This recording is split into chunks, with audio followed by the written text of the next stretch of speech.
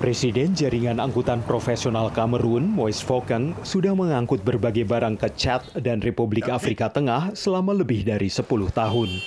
Menurutnya, hal ini tidak pernah mudah. Sembari menambahkan, kawasan perdagangan bebas kontinental Afrika yang berlaku sejak Januari 2021 belum membuat peningkatan nyata. Menurut Fokeng, negara-negara Afrika masih lambat untuk memangkas birokrasi dan memperbaiki jaringan transportasi yang buruk. Nous avons de la peine à traverser nos frontières. Quand vous partez de Douala pour la Centrafrique, je ne peux pas vous compter les difficultés que nous avons à affronter l'axe euh, Gawaboulaye, Boam jusqu'en Centrafrique. Pareil pour l'accès au Tchad. Il y a tellement d'exigences que nous nous rendons compte que la libre-échange n'est pas encore effective. Bank Dunia mengatakan 84 persen perdagangan di Afrika dilakukan dengan mitra di luar Afrika. Menurut Bank Dunia, bila telah diterapkan, kesepakatan bebas bea di seluruh benua Afrika ini akan meningkatkan perdagangan intra-Afrika, menciptakan lapangan kerja, dan mengentaskan 30 juta warga Afrika dari kemiskinan ekstrim.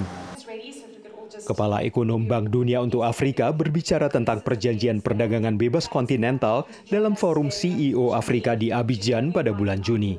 C'est important de reconnaître l'effort que les leaders africains ont fait pour permettre à la ZELCAF de, de, de démarrer.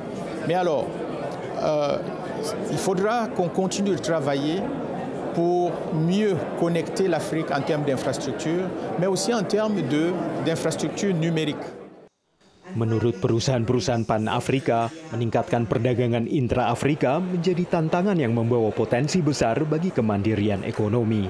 Le besoin de l'Afrique de développer une forme d'autarcie, mais dans le sens positif, en ce sens être moins dépendant pour leur propre flux de consommation et de transformation du reste du monde. Et donc développer de la fabrication, de la transformation industrielle et euh, de la production intra-africaine.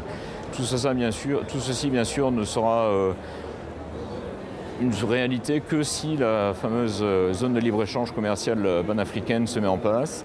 Lebih dari 40 negara Afrika telah meratifikasi kawasan perdagangan bebas kontinental Afrika. Tapi di tingkat lapangan, para pedagang ini berharap agar hambatan non-tarif segera dicabut, sehingga manfaatnya bisa dirasakan oleh banyak warga Afrika. Dari Arlington, Virginia, saya Helmi Yohanes dan tim VOA.